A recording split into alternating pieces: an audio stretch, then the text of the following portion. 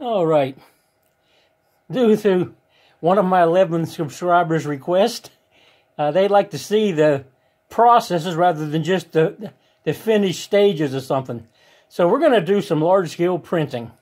And uh, I've, I've got it set right now. We're going to just going to knock a print out. And then we'll, uh, uh, we'll set one up, a different print, to, to go through what you have to do to make the thing actually print. That's provided it works the first time.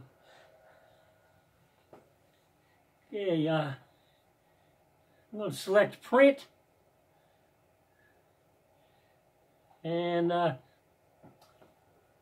normally I would have to move this, uh, the white background to center it on the thing. But uh, I've actually tried to set all the stuff on the left. So I, I went through the, the whole thing one time anyway to, to get it to do that. So it's it's in the right place. All I have to do is push print because I've set about 11 things on the left. We're going to do that in a minute though.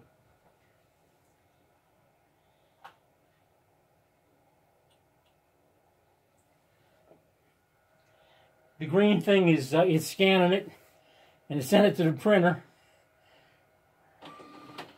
That's a 1.8 gigahertz two core uh, AMD chip in that thing. About four gigs of uh, RAM. And it's thinking about it. At this point, Bank, then only really screws it up if it runs out of paper. And that'll bring on more talk.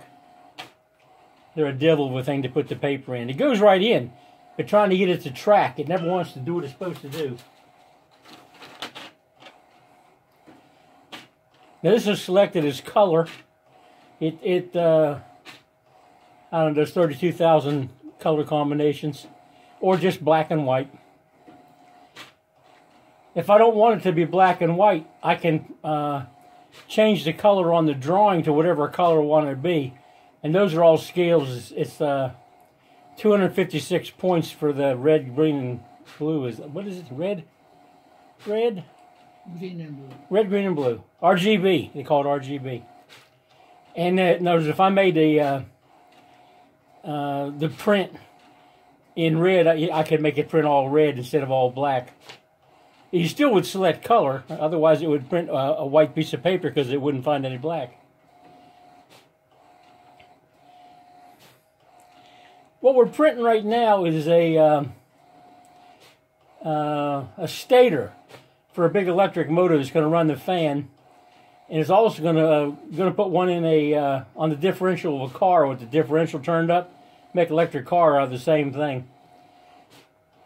It's going to be overkill on the fan, but I it's uh, I want to do a lot of experimenting with the fan, and I can rewire these coils even once they're pulled in the epoxy. I can rewire them four different ways. And when we um, when we make this stator, we'll have a flat piece of phenolic board with a border around it and probably a border around the inside. Then we'll set this paper in it.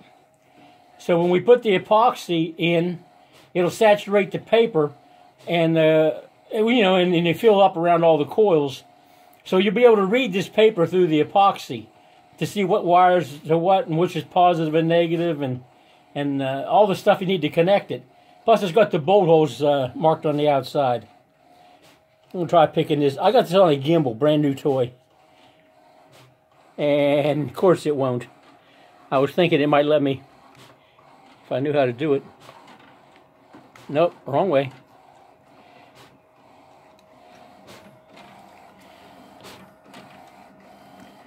This is um, 0.6 of a millimeter wide lines. Uh, we're doing 24 inches wide. Uh, there's a red center line there.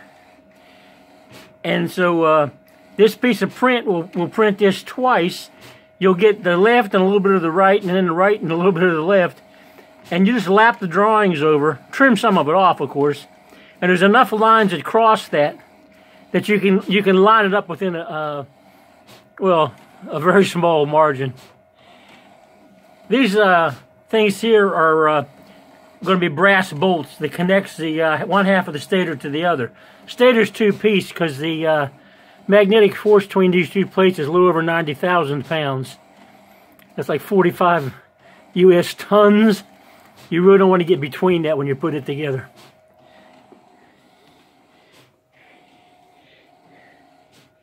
And now we're going to try to get that thing back up.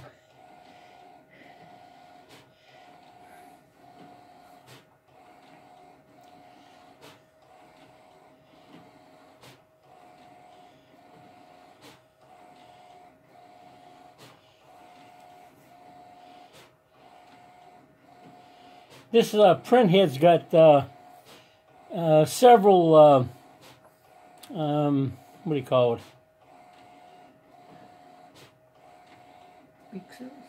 Oh, uh, it's, a, it's an inkjet printer, but rather than have a single inkjet like on, on your little ones for your for your tablets and stuff like that, there's a row of them across there, so it doesn't have to track clear across. And it also has uh, uh, multiple uh, inkjets uh, front to back, so it covers more than than than one dot wide. It cuts like a, a half inch swath across. You can see how, how much the paper moves ahead each time. That's how much it prints every time it, it uh, uh, makes a selection. And they can overlap.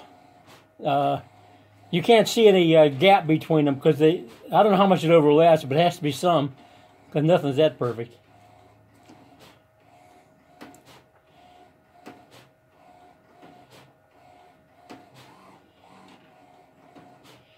And when it gets uh, to the preset length of the paper, there's a sliding knife runs across there, just like that. Now we're going to move this out of the way.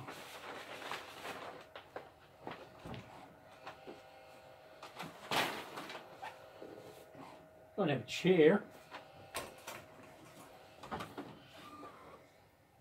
And next trick.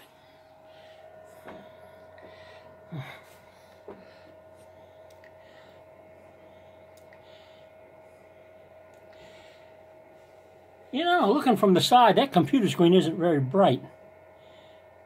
That's unfortunate. I'll have to probably read what I'm doing.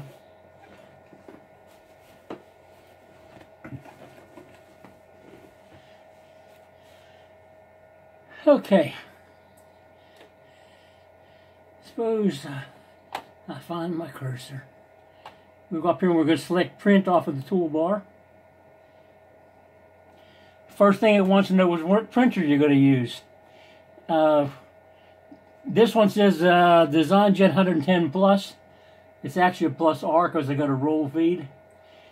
It's showing paper 8.5 by 11. If you click Properties, uh, you select Custom, and then you put whatever size of paper you want. Um, this is selected portrait because the, uh, the um, print is taller than it is wide. We select one copy. Um, vector output, that makes it actually a couple, uh, two ten thousandths of an inch long straight lines. It's not really curves. Um, but it takes a lot less, uh, um, well, less data, but more speed. It doesn't have to do any computation. Um, we're going to choose print color. Now we could put display color. That would print whatever's on the screen. Uh, I can't see much. I've never used that. I either do black and watercolor. Um, this is, uh, we have here, we have top, perspective, uh, front, and right. Uh, we selected top because that's the pane that uh, is up on the computer. There's, there's four sections to the screen on the drawing. We're printing whatever's in the window. If we did extents, it would print all four panes of the entire drawing, and uh, you wouldn't get much on the paper. Viewport would print one of those four panes, but border to border on the pane. Now, we're going to uh, move the, our uh, thing. We didn't change the paper size, so this should be fairly easy. We're going to just drag and drop.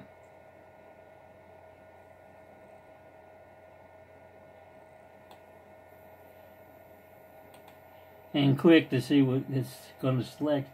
And we look on the right and uh, we've got some white space around all the stuff we're trying to print.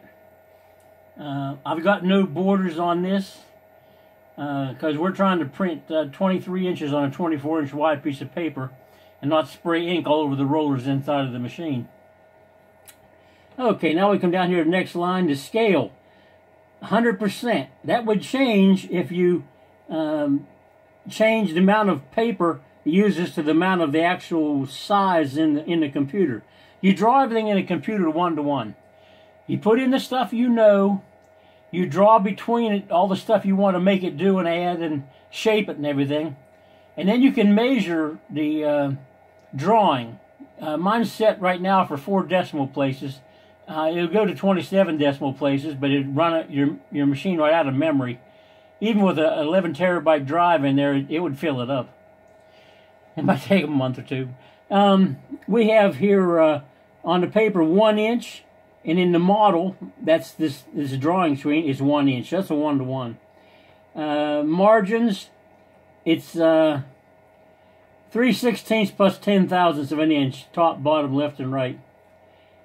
Going down a little farther. Um, uh, we don't.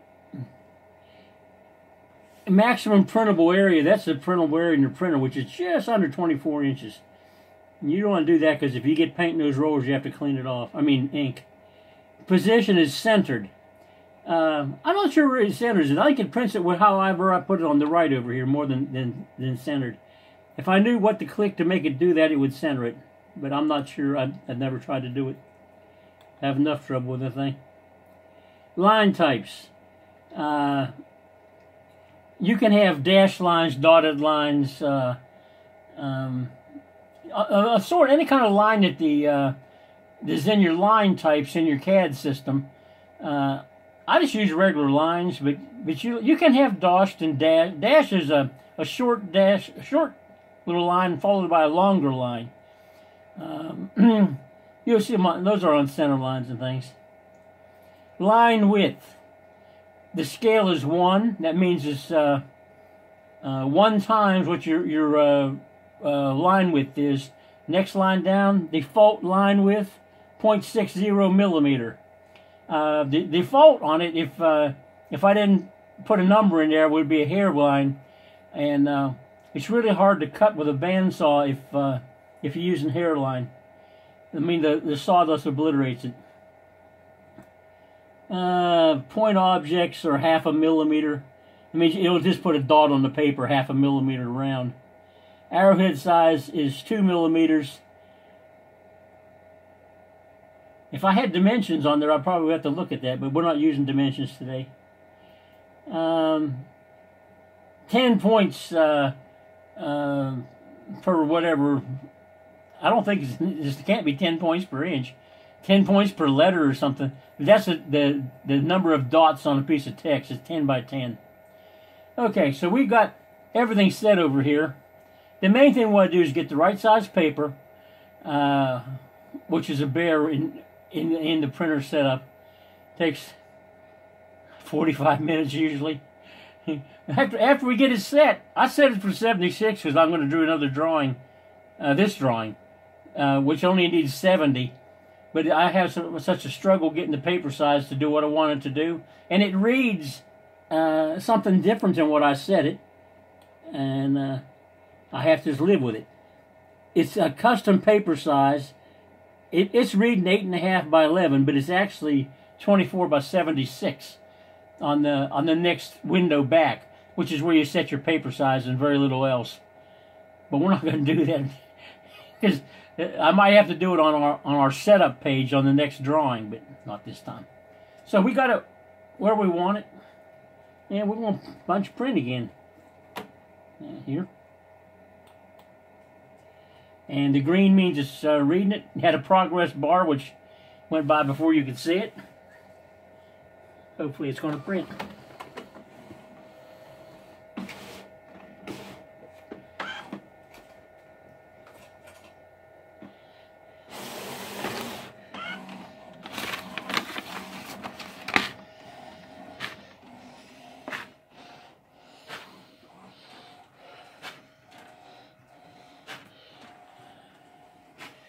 Well, you might have been on the camera right there, girl.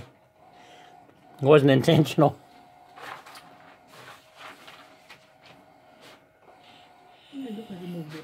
This is the uh, first use of the gimbal. Uh, does a bunch of wondrous things. It's a lot smarter than the operator. I can figure things out. It can only do what it knows how to do. And I got to tell it what to do. But it's a real smart little sucker. It's a, a bunch of uh, uh, gyroscopic stabilizers. Like you, you have one on your cell phone that uh, makes the picture right side up and, and fills the screen when you turn the, the phone 90 degrees. Well, there's three of them in there. They're accelerometers is what they are. But nobody ever heard of an accelerometer, so we're going to call them gyros. He puts a gyro from the right, and uh, uh, it, it moves up. They're 90 degrees out of phase. First time I put the helicopter rotors on there, I got it wrong. Of course, I didn't know how to fly a helicopter when I tried to fly it, so I didn't know it was wrong. I just flew it. And you know, after four or five minutes, it, it trying to keep it from hitting the ground and, and no more than about 10 feet high, you get used to it pretty quick. Either that or you crash, you know, and then you buy another helicopter. Then anyway, you can hook those rods up wrong. next guy got in it, you near destroyed the whole thing. Okay, what this sheet here is, uh, this is going to be a template. Let's see if we can get over there to look closer.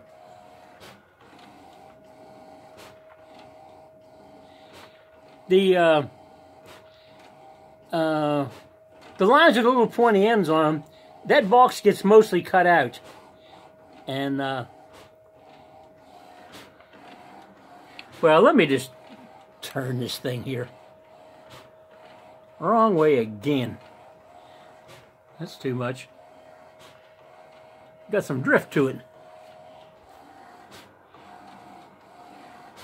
I don't know if you can tell on here, but it's uh, uh, green, purple, and blue are the are the three colors, or maybe it's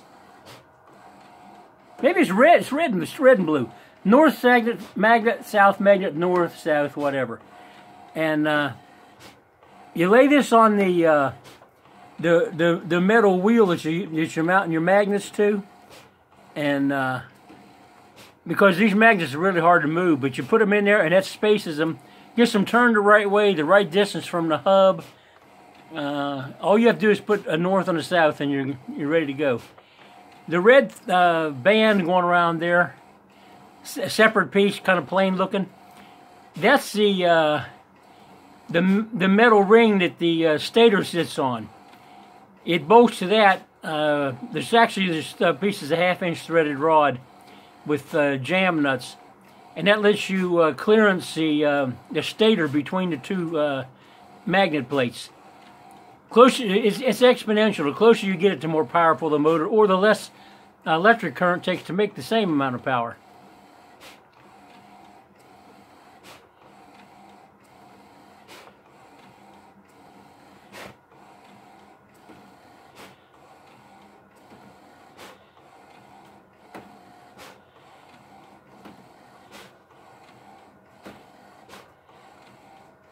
Most time when I'm printing, I'll, uh, especially if it's a print that's 10 or 11 feet long, uh, I'll start it printing and uh, just going to watch television. And when I come out to get a drink or go to the bathroom or something, I start the next print.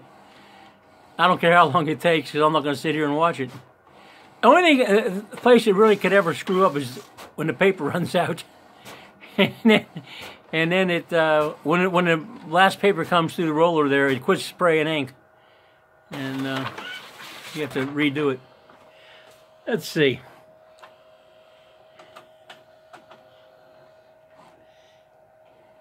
Ought to be some way to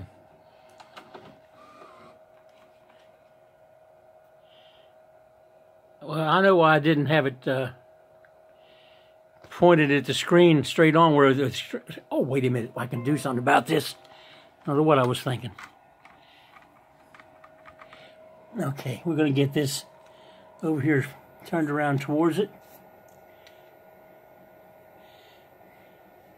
And of course you can't read the screen, but That's because it's not square to the screen. So we'll turn the computer.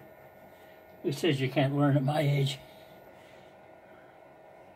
And we'll turn this a little bit more. And then we have to do the tilt thing. Uh, where's the button? Tilt down to go down. Okay. Let me uh, toss this drawing out of the way so I don't mash it.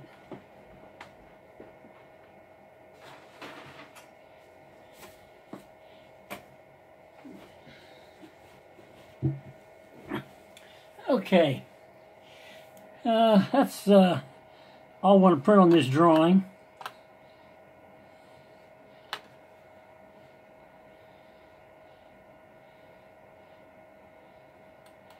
We'll click, uh,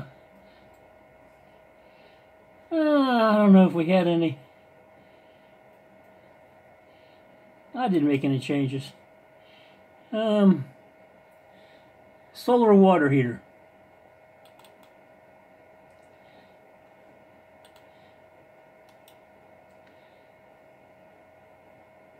Open. It was supposed to open when you double click it. I don't know what this plug-in is. It's asking for it. I think that's a computer error. It's going to want me to confirm that. We're going to tell it again. Okay. Now we're going to load another drawing.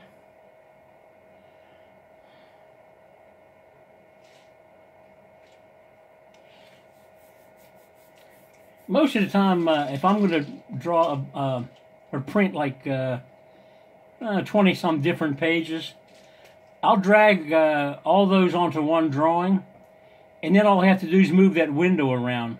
Like uh, uh, when the guys want uh, patterns for our iron security grills, uh, like if, if, I, got 40 uh, handrails, all different, you know, all different drawings, but they're the same width and height. So all I have to do is set up a, a, a drawing paper size and they just just do the move thing and push print. So it goes pretty quick. A lot of time watching television doing that way, not much time sitting here staring at this.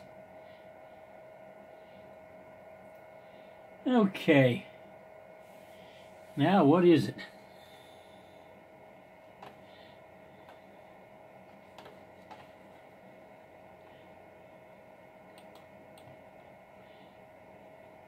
I think it's just what it looks like. Push print here. First thing we got to do is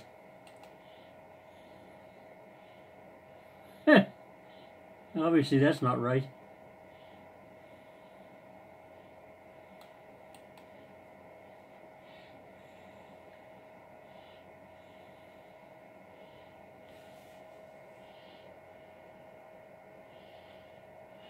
On paper size.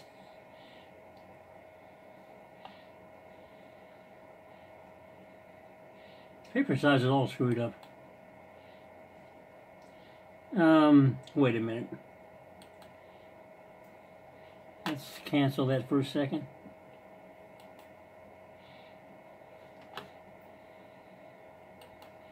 Most time I write down in here needs a piece of 48 inch paper.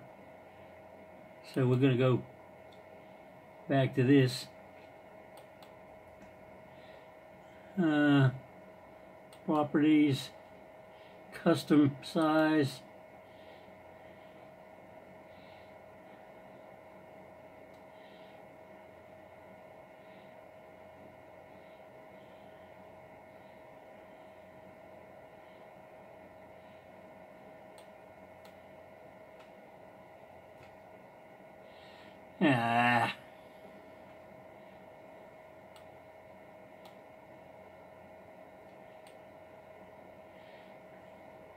You're supposed to be able to type in this thing and have it uh, change the numbers. And I don't know why it didn't work today, but it didn't work on the last piece of paper either. Hey, one, two, three,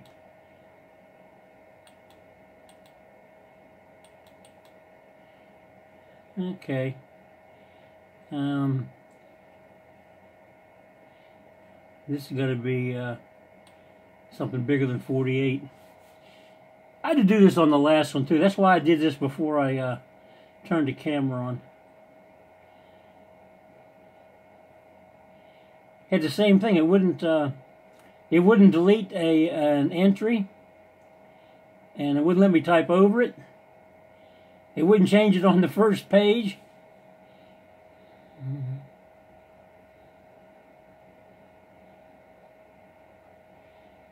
Now we're to 30.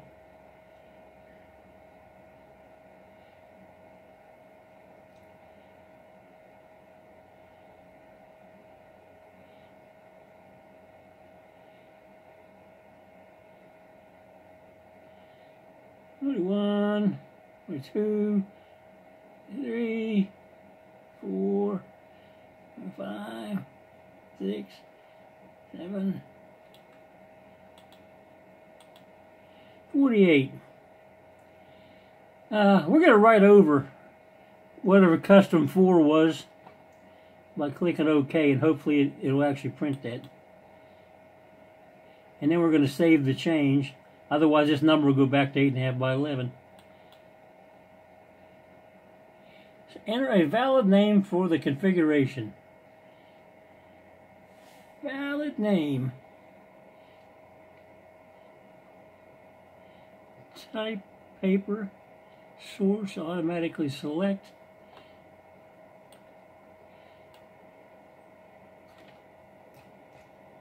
Oh it's not going to let me uh,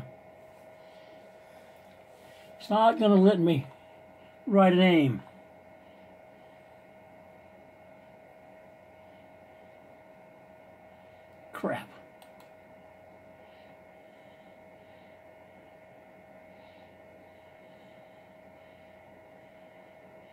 We gotta just let it call it 24 by 63.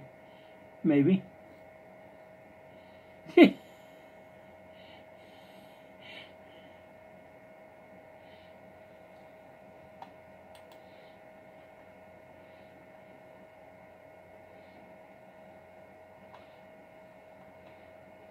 I guess we're going to try okay. And it still reads 8.5 by 11, but you notice my piece of paper got to be a bunch bigger. Now we got to find it right over top of the thing we're trying to print.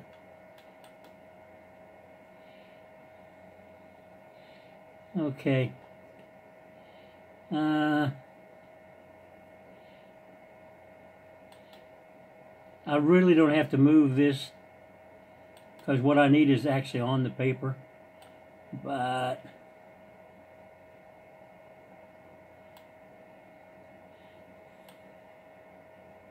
I'm just going to make it a little more even on the margins.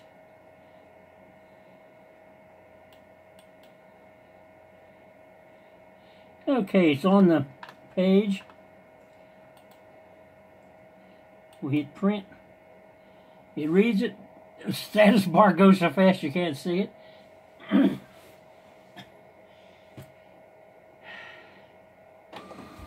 We're going to start printing anyway.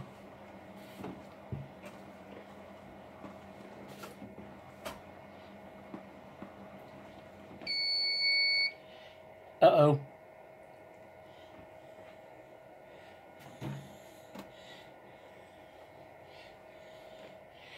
As luck would have it, the paper ran out.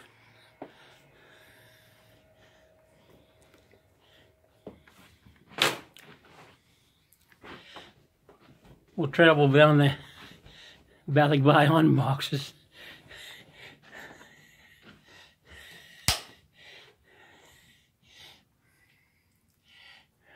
Well, let's see here.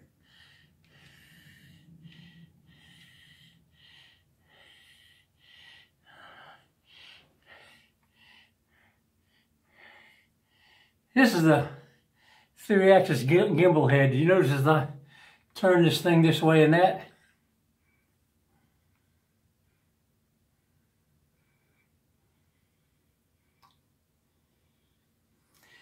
And tilt it up and down turn the handle, keeps camera steady.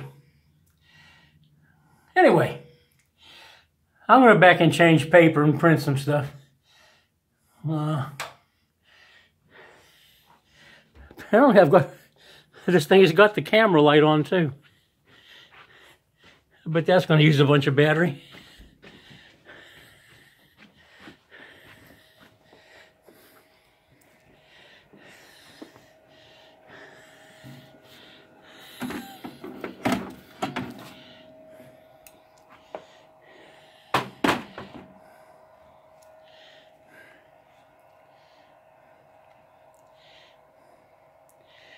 That's what the roll looks like. It's a paper tube inside the paper.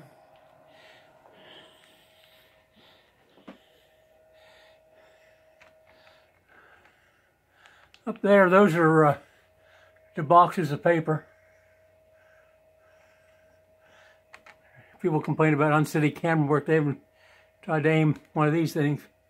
Yeah, okay. The box is about 25 and a half inches long and it's about 8 by 8, but the roll of paper is only 6.